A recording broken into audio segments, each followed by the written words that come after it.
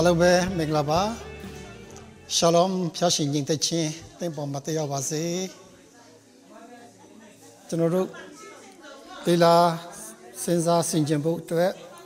ဇမ်ဘိုက်တစ်ပတ်ကိုဖတ်ပေးကြပါရယ်ရှမသက်ခိုင်ငါအငယ်73တင်တို့သည်ဤလောကဤစားဖြစ်ကြ၏စားမှုကအငံကင်းပြောက်လျင်ငံသောအရသာကိုအဘယ်သို့ရပြန်မည်နည်းပြင်သို့ပြစ်လိုက်၍ ကြော်နှင်းခြင်းမှတပါအဘယ်အတုံးမြမဝင်ငကပတ်တော်သည်အသက်ရှင်သောကြောင့်အောက်တိုင်းကိုဖျားရှင်ကောင်းကြီးပေးပါစေဤလောကဤစာဆိုတဲ့ကောင်းစဉ်နဲ့ခေါင်းအားပေးကြပါမယ်ကိုလေးစားတဲ့သူကကိုယ့်ကိုတစ်ခုခုနဲ့နိုင်လို့ရှိရင်ကိုကျင့်တတ်မှာဖြစ်တယ်ဒါမှမဟုတ်သူနိုင်တဲ့အရာနဲ့တူအောင်ကိုက လုပ်မှာဖြစ်တယ်ဆိုတာကိုဒီနေ့ပြောချင်တယ်ဒီနေ့ဒီနေရာမှာဖခင်ကျွန်တော်တို့ကိုဘာနဲ့နိုင်တယ်လဲဆိုရင်စားနဲ့နိုင်ပါတယ်ဟုတ်လားယုံကြည်သူကိုစားနဲ့နိုင်တာတယ်စားနဲ့နိုင်တာခြင်းကြောင့်စားရဲ့သဘောတဘောဝါနဲ့ကျွန်တော်တို့ကပြည့်မီဖို့ရှိတယ်ဆိုတာကိုဖခင်ကတခါတည်းထက်ကနေကျွန်တော်တို့ကသဘောပေါက်စေတယ်ကျွန်တော်သိကြတယ်စားကအငံတတ်တဲ့ပြေသွားတယ် အငံရှိမှပဲကျွန်တော်တို့ကသမင်းစားတဲ့ခါမှာရတာရှိတယ်အငါမပါရဟင်ပေါ့ရှွတ်ရှွတ်ဆိုကျွန်တော်စားလို့မရအောင်ဟုတ်တယ်စားရဲ့တတိလေးနဲ့တဲ့သဘောသဘောပါတော်သေးမဟုတ်အနဲ့အသက်ကိုပျောက်စေတဲ့သဘောပါတော်သေးမဟုတ်ကြားရှည်ခံဖို့ထိန်းထားတဲ့သဘောသဘောပါ စားမှရှိအရာတွေကျွန်တော်တို့အထဲမှာရှိဖို့ဘုရားကအလိုရှိနေပါလားဆိုတာဒီနေ့ကျွန်တော်တို့ကိုဒီရစေပါတယ်ကျွန်တော်တို့အချိန်ပေါင်းများစွာကြားရတဲ့စကားတွေပါဒါပေမဲ့စားရဲ့ definition နဲ့ပတ်သက်တဲ့အရာတွေအသုံးဝင်တဲ့အရာတွေတော့ကျွန်တော်ဒီနေ့အများကြီးပြောဖို့မရှိပါဘူးပြောလို့လည်းအချိန်မရပါဘူးအချိန်တိုထဲမှာကျွန်တော်ဒီနေ့ခွန်အားယူဖို့ပဲလက်တပြက်ကျွန်တော်စဉ်းစားဖို့ပဲရှိတယ်ဆိုတော့ပြောချင်ပါတယ် တချို့သူအတွက်ကတော့စားဆိုတာသူတို့ရဲ့လစာဖြစ်တယ်သူတို့လက်စာကိုသူတို့ရဲ့ salary ကိုဟာလားစားနဲ့ပေးကြတဲ့အခါမှာစားက salt ဆိုတဲ့စကားကသူတို့အတွက် salary ဆိုတဲ့အဓိပ္ပာယ်သူတို့ရောက်ပါတယ်လက်စာဖြစ်သွားတာပေါ့နော်ဒါကြောင့်မို့ဒီစားနဲ့ပတ်သက်ပြီးတော့မှကျွန်တော်တို့ဒီနေ့တလုံးချင်းကြည့်တဲ့အခါမှာ S A R T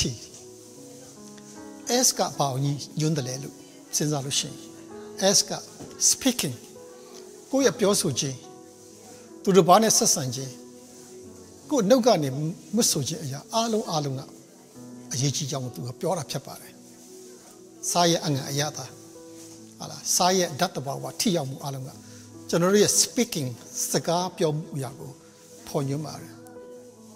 တတိထားတာရှိတယ်တယောက်ကိုမြောက်ခြင်းလို့တယောက်ကိုနှိမ်ချတာမျိုး ဒီနှုတ်ကနေမထွက်ဖို့အရေးကြီးပါတယ်တစုံတယောက်ကိုချီးမြှောက်ခြင်းလို့တစုံတယောက်ကိုနှိမ်ချတာမျိုး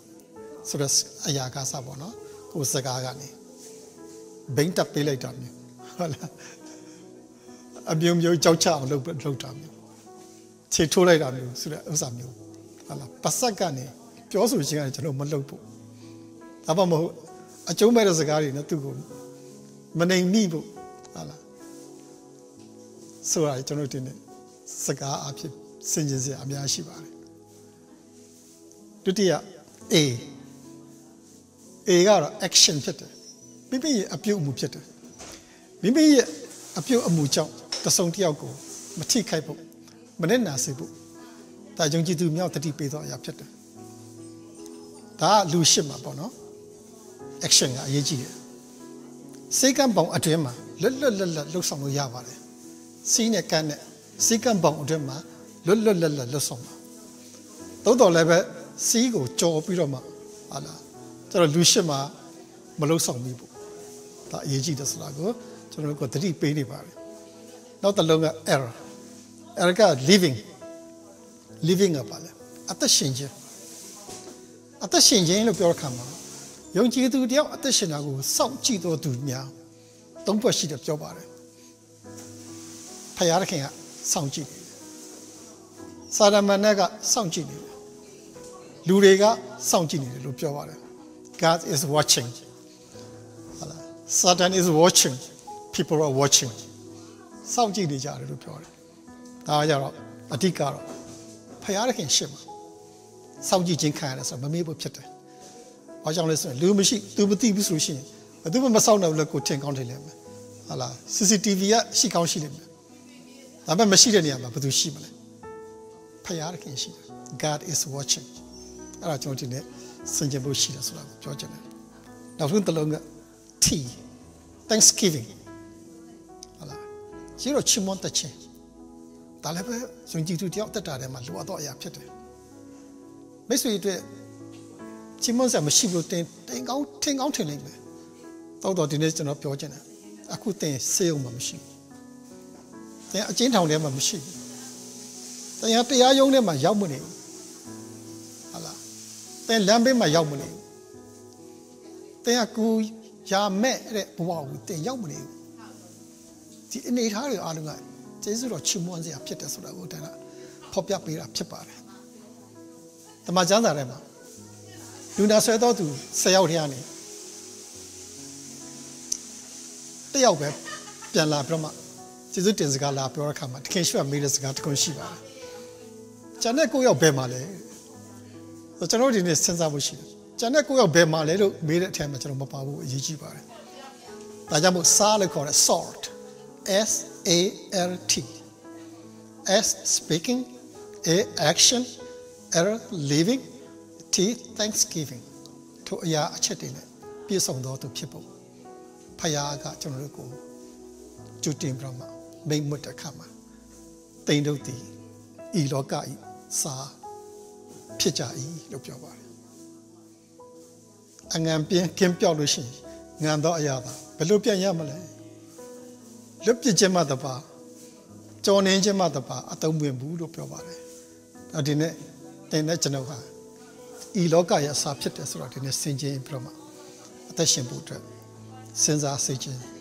ပို့ရှိပါတယ်။ စားကအပုပ်နှံ့ကိုပျောက်စေတယ်။မပုပ်မတူအောင်ကူညီတယ်။ဟုတ်လား။ကျွန်တော်တို့ကစားဖြစ်တဲ့အခါမှာအပုပ်နှံ့ကိုပျောက်စေတယ်လို့ပြောတယ်။ဒါပေမဲ့တချို့ယုံကြည်သူများကအပုပ်နှံ့ကိုပျောက်စေဖို့မဟုတ်ဘူးအပုပ်နှံကိုပို့ပြီးတော့မှဟာလားလူတွေအနက်ရအောင်လုပ်စီတဲ့သဘောမျိုးဖြစ်တတ်တယ်ဟာလားမပုတ်မတိုးအောင်ကူညီတာမဟုတ်ဘူးဟာလားကြောင်းပြန်ဖြစ်တတ်တယ်ဆိုတော့ဒီနေ့ကျွန်တော်ဆင်ခြင်မှုလည်း ရှိတယ်ဆိုတော့ပြောချင်ပါတယ်စားကဤကဲ့သို့ထူခြားသောအရာများကိုလှုပ်တော်လဲပဲဘယ်တော့မှစားကသူ့နာမည်မဖော်ဘူးသူ့နာမည်မပေါ်ဘူးနော်ဒါစားကြောင့်အနံ့ပြောက်တာဒါစားကြောင့်ကြာရှိခံတာဒီစားကြောင့်မပုတ်မတိုးတာဘယ်သူမှဒီစားစားကိုမပြောကြပါဘူးဒါမှမပေါ်ပါဘူးဒါကြောင့်ခရစ်တော်အတွက်လှုပ်ဆောင်တဲ့ခါမှလည်းပဲကိုယ်နာမည်ကပေါ်စရာလည်းမလိုပါဘူးဟုတ်လား ပေါ်အောင်လုပ်နေစရာလည်းကျွန်တော်မလိုဘူးလို့ပြောချင်ပါတယ်ဒါကြောင့်ယုံကြည်သူတွေကိုစားနဲ့နိုင်တာချင်းအတွက်ဒီအရာတွေဟာကျွန်တော်ရဲ့လိုအပ်ခြင်းဖြစ်တယ်ဆိုတာကိုဒါဖော်ပြပေးချင်တာဖြစ်ပါတယ်အချင်းချင်းဒီလောက်ပဲဖော်ပြပေးပါစေဒီနေ့ရောက်ရှိတိုင်းကိုဖျားရှင်ကစားနဲ့နိုင်ထားပါတယ်ကိုချစ်တော်သူကကိုခိုင်းနိုင်တဲ့အခါမှာသူဘာခိုင်းနိုင်ခိုင်းနိုင်ကိုကလှုပ်ချင်တယ်ကိုနေချင်တာဖြစ်တယ်အဲကြောင့်မို့ဒီစကားတွေမိတ်ဆွေနဲ့ကျွန်တော်တို့ပြည့်စုံပါစေလို့ ဆုတောင်းပါတယ်ဖျားရှင်အားလုံးကိုကောင်းကြီးပေးပါစေ Non es one